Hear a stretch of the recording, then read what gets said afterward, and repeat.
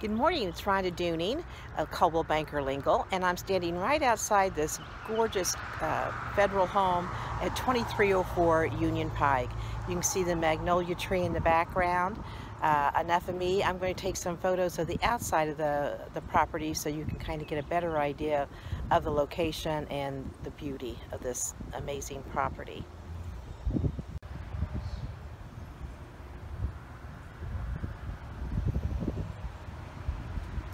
To the care of the landscaping, to the care of the beauty of this area. Side now, there's another beautiful magnolia tree as I round here. And you'll see across the street, uh, there's beautiful flagpole. That is Hills Pet Products. And they're nestled down over the hill. Um, that is one of Richmond's um, um, manufacturers. It's been probably there for the last 15 years. Union Pike. Beautiful landscaping, and there's uh, uh, the bank, not a bank barn, but a barn and corn crib and milk house just beyond the basketball court. Lends to the privacy. This is on the south side of the home, the deck coming uh, off of the formal uh, living room there. And running behind it is the Cardinal Greenway, which spans uh, all of Richmond all the way north of Muncie. It's a uh, biking trail, walking trail, nature trail. There's two of the seven buildings that are uh, protected by the covenants of the property. Uh, you're looking there at the smokehouse, and that's the boot barn.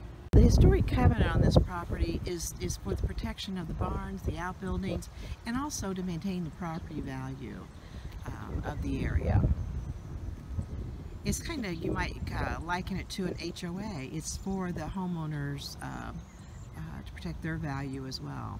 This property is um, just beautifully and improved as such. The privy that is protected, but it was built uh, during the in 20s by the WPA. Okay, there's the north side of the bank barn you see it extends out there. There's there's a couple different lofts. There's the other corn crib, one of the other seven buildings. And then we look out towards um, Industries Road. The land goes north. it goes back beyond the tree line. Um, I think a total of 18, a little over 18 acres here.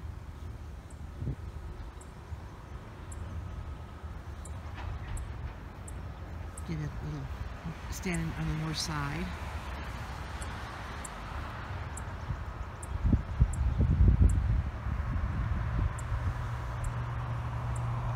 As you can see, it's an island unto itself. It's a beautiful, beautiful property. Thank you.